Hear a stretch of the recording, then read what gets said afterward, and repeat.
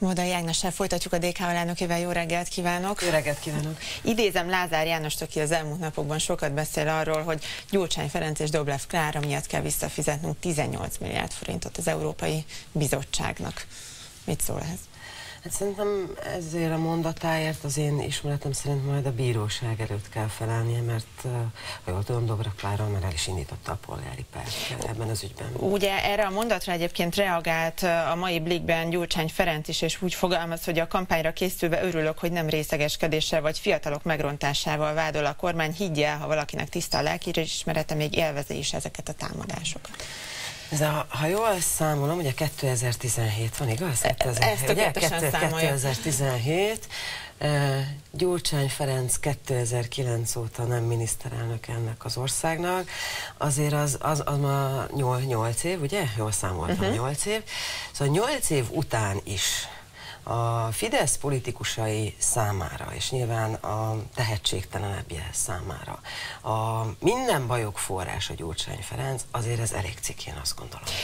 Egy picit menjünk bele ebbe az emér ügybe, mert szerintem ezt nem tudják már felidézni a nézők. Ez egy egységes monitoring információs rendszer a megfejtés ennek a mm, mozaik szónak, az uniós pályázatok bonyolításához használták korábban, és azért azt nem a kormány, hanem az Európai Bizottság mondja, hogy itt szabálytalan közbeszerzések történnek történtek 2003 és 2009 óta, amikor is ezeket a monitoringozási történeteket az a főosztály felügyelte, amit Dobrev Klára vezetett. A dátumot ismételjük meg? 2009? 2003 és 2009. Igen, nem, nem egészen így. Akkor kezdjük a legelején a történetet. Hogyha valaki végigolvast, hogy ezt a monitoring rendszert, amelyik a, ezt egy cég készítette, ezzel a cég először... A VELT 2000 Kft. tudott egyáltalán érvényes Igen. pályázatot Igen. erre benyújtani. Van, aki ezt is vitatta, hogy hogy, hogy más nem tudott. Ugye leges legelőször ez a cég a Matolcsi György vezette Orbán Viktor alatti érában pályázott sikerrel,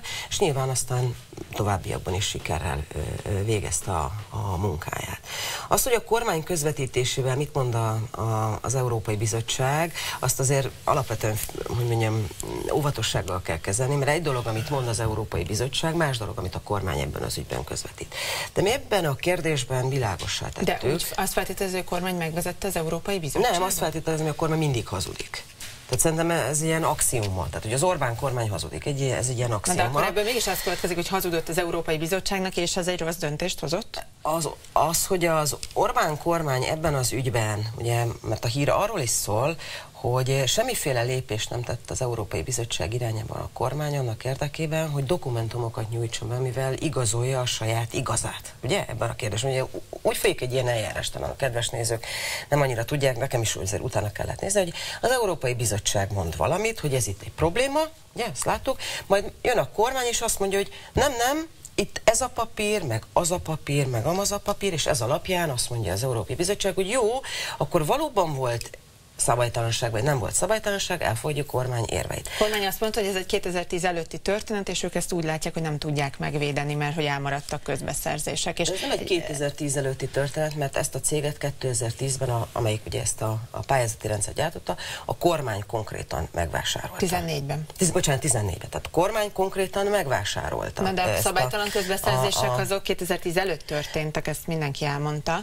És csak úgy fejezzük be a történetet, és miért hivatkoznak? Az, az, az, az világos világossá kell tenni, hogy a kormánynak ebben a dologban a magyar nemzeti érdeket meg kellett volna védeni Brüsszelben. Ehhez képest mit mondott a kormány, és erről beszélt Dobra Klára több e, tévéműsorban is, hogy a kormány semmiféle lépés nem tett e, azért, hogy, hogy legalább a nála lévő dokumentumokat be, bemutassa az Európai uh-huh. Bizottságnak.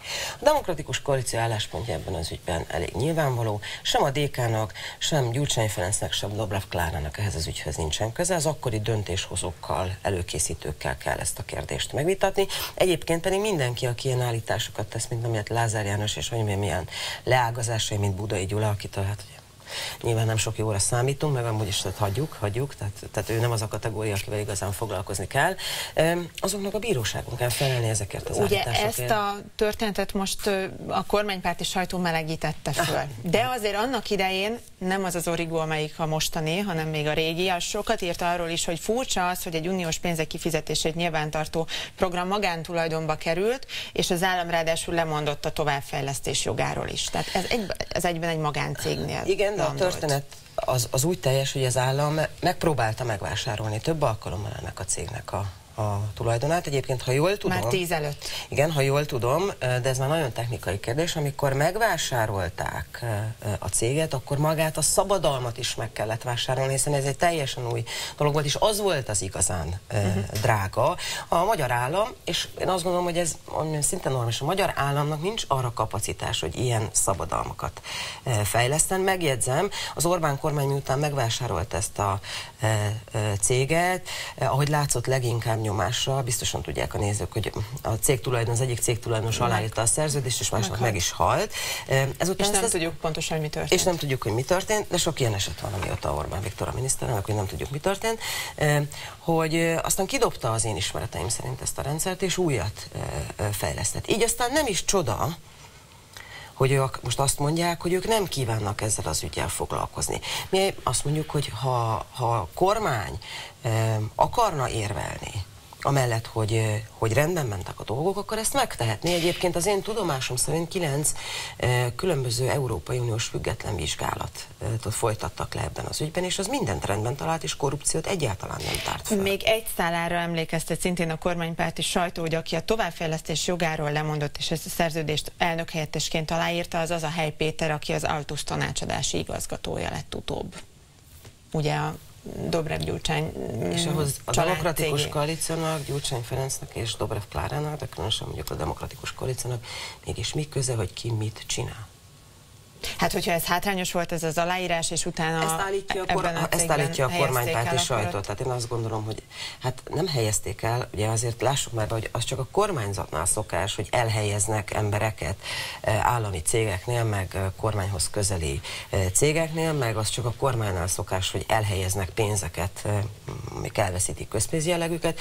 A normál piacon az emberek pályáznak állásokra, és aztán megnyerik. Tehát ugye ez a normális, nem úgy, ami most van Magyarországon, hogy ha te uram, bátyám vagy, ne talán cöffös vagy, akkor rögtön megvágnak 500 milliós támogatásra, amit konkrétan... Az MVM-től. Nem, nem az MVM-től, konkrétan hát, a magyar állampolgárok villanyszámla befizetéséből Beszéljünk adják. a kerítésről is, mert hogy hát egy elég erős közleményt adott ki a DK, amikor az Index megtudta, hogy a kormány áramot vezetett a magyar-szerb határon felelőtt drótkerítésbe.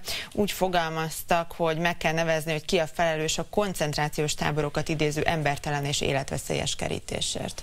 Nézze, az, az nem normális hogy áramot vezetnek a magyar határon lévő kerítésbe. Ez szembe megy minden egyetemes, emberi, európai, de egyszerűbb lehet, a keresztény értékkel, ez úgyis nagy keresztényekről hát a kormány pont arra hivatkozik, hogy a keresztény Európát védi.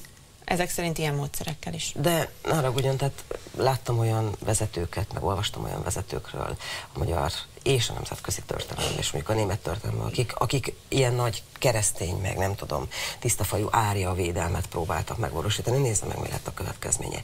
Mi a helyiektől és bizonyos egyéb forrásokból is úgy tudjuk, hogy igenis vezettek abba a kerítésbe áramot, és azt gondoljuk, és, és meg, hogy, hogy meg kell nevezni, hogy ki volt az, aki ebben az ügyben eh, kiadta az utasítást, hogy áramot kell vezetni. Természetesen tudom, hogy a kormánypárt, meg a kormánypárthoz köthető oldalkocsik, azok egészen mást mondanak ezekben hát a dolgokban. azt nem cáfolják, hogy ebben áram van, viszont bagatelizálják, és Kovács Zoltán kormányszóvő úgy fogalmazott például, hogy ezt lehetett tudni hónapokkal korábban, hogy az okos kerítésben áram is lesz, és ez egy gyakorlatilag egy visszajelzési rendszer, ami a nyomonkövetést, azonosítást és gyorsabb reakciót teszi teszi lehetővé ezzel indokolta. Nem így, hogy valaki oda megy és megrázza az áram? Hát és akkor az jelzi valahol, hogy hol próbáltak De nem jelzi, hát pont ez derült ki egy eh, helyi, helyiek által eh, adott beszámolóból, hogy ők megpróbálták megnézni, mert a helyieket sem értesítették. Tehát nem pusztán arról van szó, hogy aki érkezik eh, menekültként, egyébként nem érkezik. Tehát, hogy ugye az utóbbi hetekben, hónapokban, sőt azt gondolom, hogy másfél évben nem áll fönn a tömeges bevándorlás okozta válsághelyzet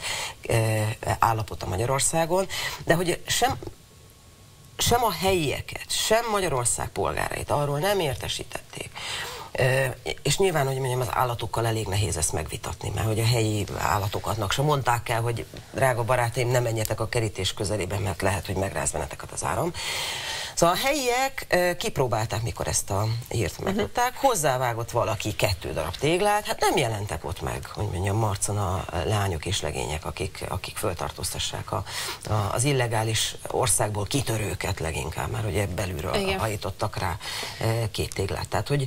Lehet, hogy ez volt a baj, nem kívülről. És akkor innentől föl, fölteszek a kérdést, hogy vajon mégis az a kerítés mire van, hogy bennünket tartson belül, vagy másokat tartson kívül, mert lassan már ez Jó, ez már összeesküvés elmélet. Nem összeesküvés elmélet. E, azt gondolom, hogy a, Mi az egész... tudunk menni.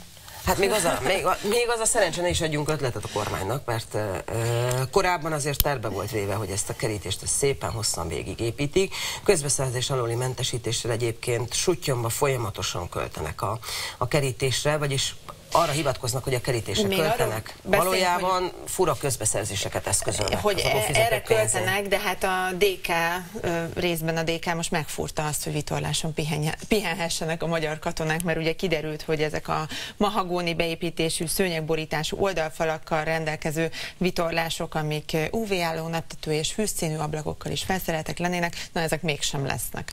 Legalábbis ezt mondta Simicskó István az egyik kérdésére. Konkrétan azt írta, hogy nagyon komikus volt az egész eh, kérdés, mert hogy, vagy válasz, de először azt írt, hogy valóban a, a katonák pihenését szolgálja. Én minden olyan ügyet támogatok, ami a magyar honvédséget erősíti, ami a magyar katonák pihenését szolgálja.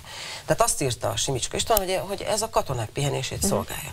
Majd az írásbeli kérdés végén azt írta, hogy egyébként meg leállították magát a közbeszerzést. Na most ez egy kicsit ellentmond egymásnak a két dolog, mert hogyha a magyar katonák pihenését szolgálta volna ez a két egyébként picikét túlárazott vitorláshajó, akkor nekem semmi kifogásom nem lett volna ellene. Ugyan tudom, hogy a Balaton akaratjai honvédidülőben több olyan szálláshely is van, ahol se WC, se fürdőszoba nincs a szobában, és én inkább azt javasoltam volna a miniszternek, hogy kölcsönünk a katonák pihenésére, mert ez nagyon fontos. De ez hogy lehet, hogy a 21. században ilyen idülőkbe küldik a katonákat? ez a, mi a magyarázat? Mert, mert nyilván nem jutott arra az elmúlt hét évben, hát a hadseregre is nagyon jutott pénz, akkor hogyan jutott volna arra, hogy WC meg fürdőszoba ö, kerüljön bele. Még a mi időnkben ott a faházas részeket felújítottuk, hogy ott, ott legalább ott lehessen normálisan pihenni. Egyébként a miniszter írásbeli kérdésével ellentétben éppen tavaly a Honvédelmi Minisztérium meghívására jártam.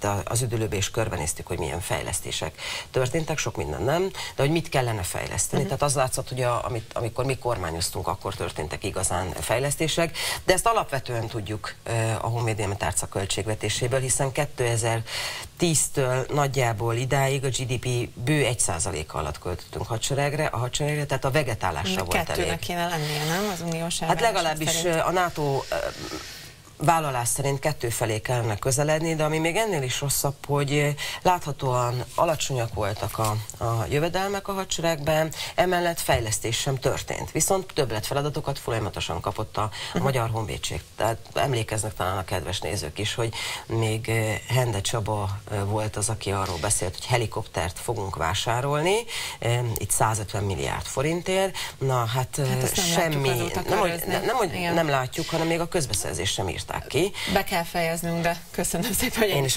kitértünk.